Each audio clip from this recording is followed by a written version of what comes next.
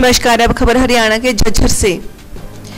झज्जर बहादुरगढ़ में 100 करोड़ से ज़्यादा कीमत की सरकार, ज़मीन पर कब्जे का मामला, अब पंजाब और हरियाणा कोर्ट तक पहुँच गया है। बहादुरगढ़ के पूर्व विधायक नफे सिंह राठी ने इस बेशकीमती सरकारी ज़मीन को कब्जेधारियों से बचाने के लिए हाईकोर्ट की शरण में गए हैं।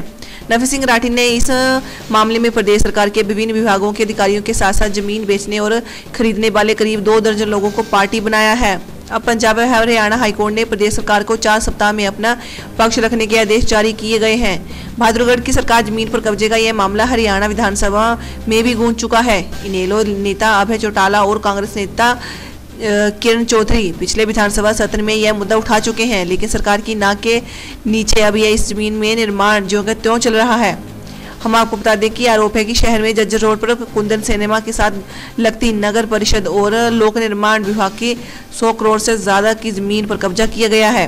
भाजपा नेताओं की शहर पर आरोपी रजिस्ट्री को कुंदन सिनेमा ने के खसरा नंबर 2331, 2332 और 2335 की करवा रहे हैं और कब्जा साथ लगते नगर परिषद के खसरा नंबर दो हज़ार तीन सौ सैंतीस और जिस ज़मीन पर कब्जा हो रहा है वो ज़मीन लोकसभा निर्माण विभाग के खसरा नंबर दो में दे रहे हैं।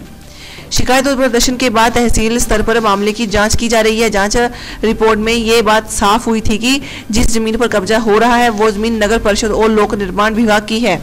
रिपोर्ट आने के बाद जब नगर परिषद ने मौके पर पास गए, हुए नक्शे को रद्द कर दिए थे, लेकिन निर्माण कार्य बंद नहीं करवाया।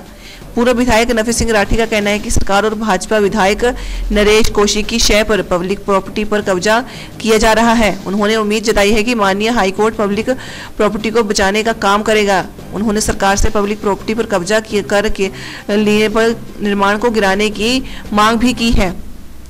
झज्जर से चैंडी लाइव के लिए सुमित कुमार की स्पेशल रिपोर्ट।